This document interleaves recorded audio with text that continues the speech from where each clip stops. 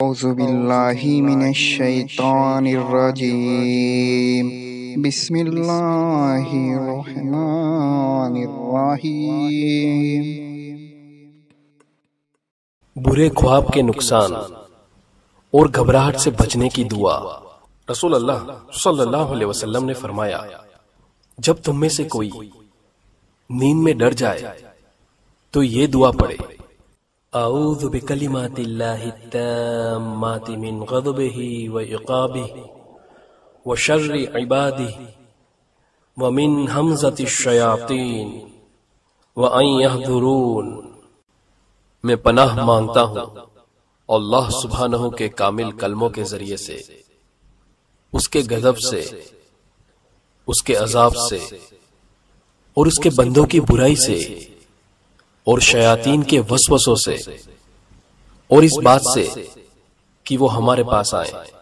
सुनन अबू दाऊद, हसन।